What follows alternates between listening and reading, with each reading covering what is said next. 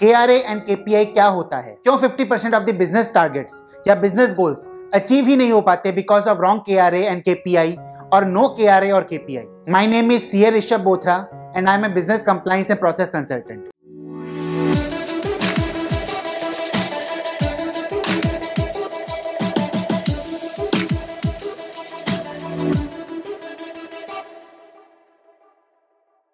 आज इस वीडियो में हम जानेंगे what is K R I and K P I examples of K R A and K P I what is SMART K P I आप अगर business owner हैं entrepreneur हैं, या कोई इंडस्ट्री में काम कर रहे हैं, या कोई फिर डिपार्टमेंट में काम कर रहे हैं तो आपके लिए ये वीडियो बहुत इंपॉर्टेंट हो सकता है। Stay tune to this video till end K R A और के पी आई को मैं एक आसान शब्दों में समझाना चाहता हूँ। एक छोटा परिवार है जिसके तीन मेंबर हैं। एक हस्बैंड एक वाइफ और उनका बच्चा। उन्होंने अपने परिवार के लिए कुछ फाइनेंशियल गोल सेट किए हैं। फाइनेंशियल गोल्स में ये सेट किया है कि उनको एक साल के अंदर छः लाख रुपए बचाने, ताकि वो एक नई कार ले सके। उनकी हर महीने की इनकम दो लाख रुपए महीना है।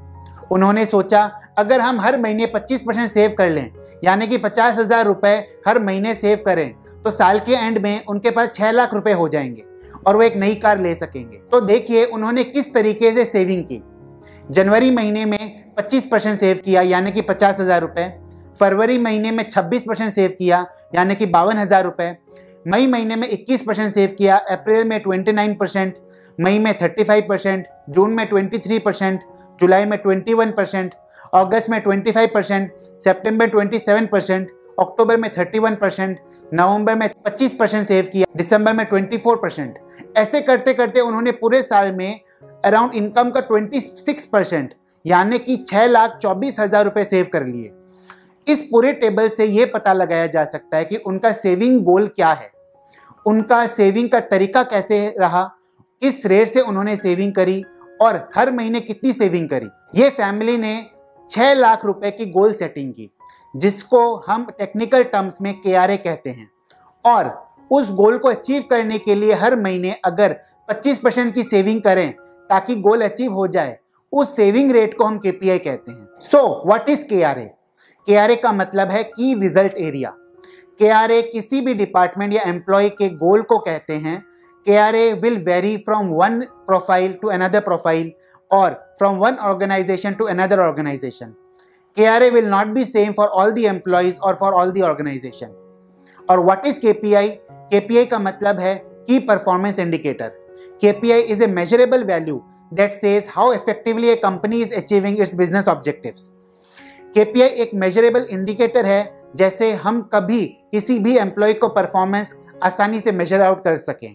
जो फैमिली का हमने एग्ज़ाम्पल लिया, उस टेबल से हमें ये पता चलता है कि फैमिली की इकोनॉमिक कंडीशन कैसी है। सेविंग रेट से ये पता चलता है कि वो अपनी टारगेट की तरफ़ मूव कर रहे हैं कि नहीं मूव कर रहे हैं। सेविंग रेट क्योंकि सबको दिखाई दे रहा है, इसलिए सबको फैमिली मेंबर्स को कम्युनिकेट भी हो रहा है। इस फैमिली ने जो गोल बनाया कि ईयर एंड में उनको छः लाख रुपए सेव करने इसलिए जो यहाँ पर सेविंग रेट रखा गया है, वो इस तरह का रखा गया है कि उस रेट पर रखने से वो गोल अचीव कर सकेंगे। सेविंग रेट को हर महीने रिव्यू किया जाता है ताकि वो चेक कर सके कि उनकी सेविंग की परफॉर्मेंस कैसी है और क्या वो गोल अचीव कर सकेंगे कि नहीं कर सकेंगे। देखिए, कोई भी कंपनी सबसे पहले क्या करती है? सबसे पहले अपना बिज़नेस सेटअप करती है और उस बिज़नेस को चलने के लिए एक बिज़नेस प्लान बनाती है। और उस बिज़नेस प्लान को एग्जीक्यूट करने के लिए वो टारगेट्स फिक्स करती है। और उन टारगेट्स को अचीव करने के लिए अपने ऑर्गेनाइजेशन में डिपार्टमेंट वाइज सभी को रेस्पॉन्सिबिलिटी डिस्ट्रीब्यूट कर देती है, जिसको हम के कहते हैं। और जो डिपार्टमेंट की रिस्पॉन्सिबिलिटी दी गई है, उसके परफॉर्मेंस को मेजर किया जाता है।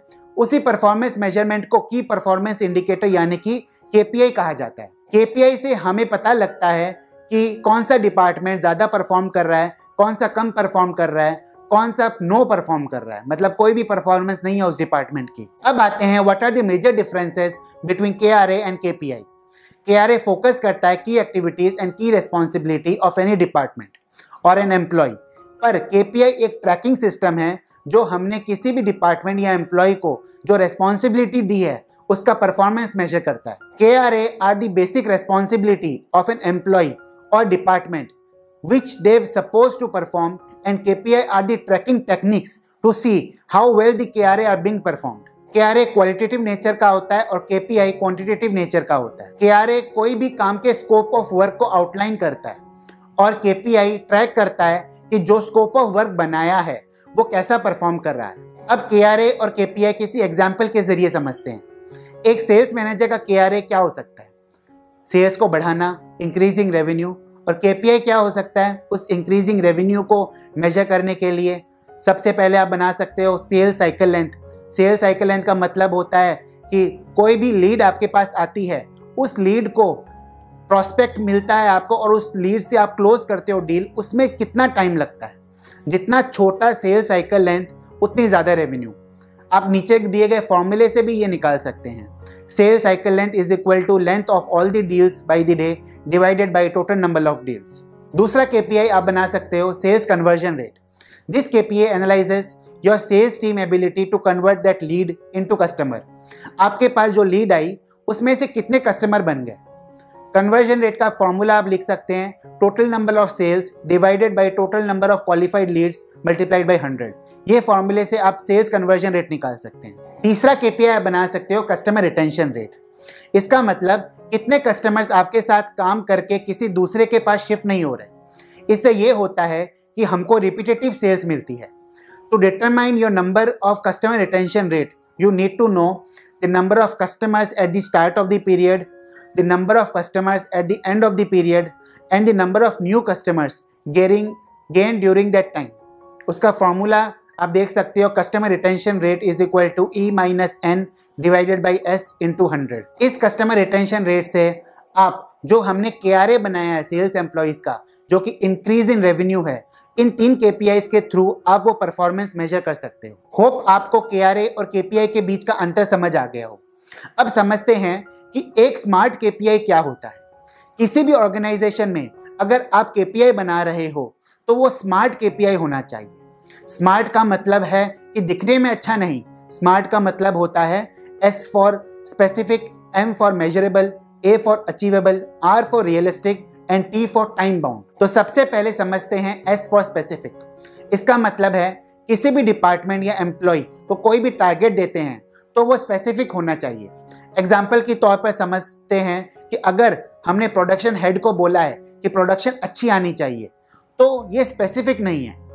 आपको ये बताना पड़ेगा कि कितना प्रोडक्शन आना चाहिए, कितना वेस्ट एक्सेप्टेबल है, कितने डिफेक्ट्स आ सकते हैं। तो आपको स्पेसिफिक होना पड़ेगा। दूसरा पॉइंट है एम फॉर मेजरेबल इसका मतलब होता है कि जब भी भी कोई आप के बना रहे हो या कोई टारगेट दे रहे हो तो वो मेजरेबल होना चाहिए। एग्ज़ाम्पल के तौर पर आप बोल सकते हैं एचआर डिपार्टमेंट का अगर के बना रहे हो तो number of employee absenteeism target से ज़्यादा है या कम है? जो एम्प्लॉय छोड़ के जा रहे हैं और नए इंडक्ट हुए हैं, क्या वो टारगेट से कम है या ज़्यादा है? तो ये सब मेजरेबल होना चाहिए। तीसरा पॉइंट है ए फॉर अचीवेबल अचीवेबल का मतलब है कि कोई भी हम गोल या टारगेट दे रहे हैं, वो अचीव करने योग्य है कि नहीं? फॉर एग्ज़ाम्पल अगर हम साल का दस करोड़ की सेल कर रहे हैं और हम टारगेट बनाते हैं कि 200 करोड़ की सेल करेंगे। तो ये गोल अचीवेबल ही नहीं है। सो so, ऐसा गोल मत बनाओ जो अचीवेबल ना हो। आप 10 करोड़ का सेल कर रहे हो और आप टारगेट बना सकते हैं 20 करोड़ 30 करोड़ 40 करोड़ तक समझ में आता है। But two hundred percent sale increase practically एक साल में पॉसिबल नहीं होता है। तो कोई भी गोल बनाइए वो अचीवेबल होना चाहिए। फोर्थ पॉइंट है आर फॉर रियलिस्टिक रियलिस्टिक का मतलब है जो भी गोल या टारगेट देते हैं वो हवा में बात करने वाली बात नहीं होनी चाहिए। वो एक्चुअल में होनी चाहिए, जिसको हम अचीव कर सकें।